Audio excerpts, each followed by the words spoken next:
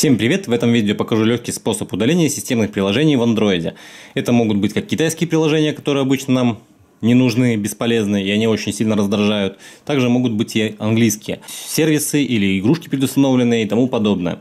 Да, бывает, есть способы, просто можно остановить, заморозить, но в моем случае мне это не нравится, я хочу от них избавиться вообще, чтобы их больше не встречать ни в каком из разделов меню. Есть способ, но с одним условием. В вашем телефоне должен быть установлен root. Да, root на каждое устройство бывает устанавливается по-разному. Бывают геморройные ситуации, потом среднегеморройные, слабогеморройные и есть очень простые, буквально в одно-два касания. В моем случае у меня Meizu MX4 Pro, производитель позаботился о потребителе и сделал легкий способ получения рута. Достаточно зарегистрировать аккаунт Flame, зайти во вкладочку Flame и нажать «Принять условия получения рута и перезагрузить телефон. Все, рут получен на телефоне. Если у вас другие способы, у других производителей бывают разные, то вам придется установить сразу root, а потом действовать, как у меня на видео. В принципе, видео такое довольно простое. Давайте начнем с того, как же все-таки удалить. К примеру, у меня есть э, системные приложения, которые я не могу избавиться. Это голосовой помощник.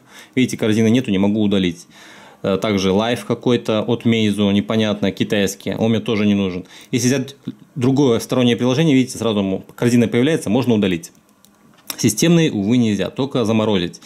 Я решил их удалить полностью.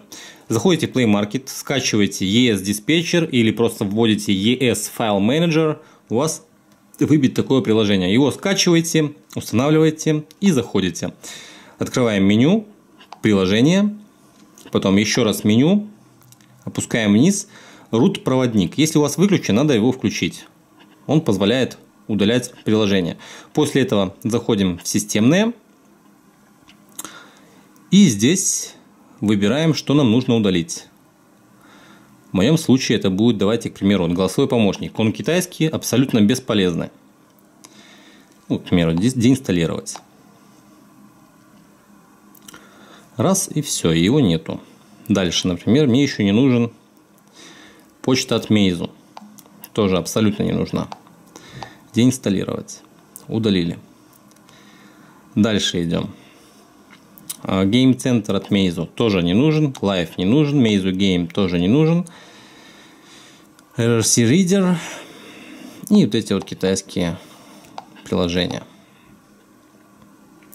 Тоже сразу деинсталируем. Все. Смотрим, у меня четвертый рабочий стол уже пропал, потому что там нет этих приложений. В принципе, да. Бояться то, что у вас устройство будет работать некорректно, я думаю, не стоит. Я постоянно удаляю все системные приложения, никогда у меня проблем не было с какими-то глюками или тормозами и тому подобное. В принципе, вот и весь способ, но да, единственная проблема – получение рута. В моем случае это было очень легко, одним нажатием кнопки в вашем случае это может быть затребовать даже несколько часов для получения рута. Прежде скачать какие-то программы или APK-файлы для телефонов типа Baidu или Lion и тому подобное. Ладно, ребят, вот такие вот дела. В моем Meizu больше никаких ненужных приложений не осталось. Разве что еще можно удалить э, в дальнейшем поиск от Meizu, китайский Play Market и вроде все. Ну, пока это мне пригодится.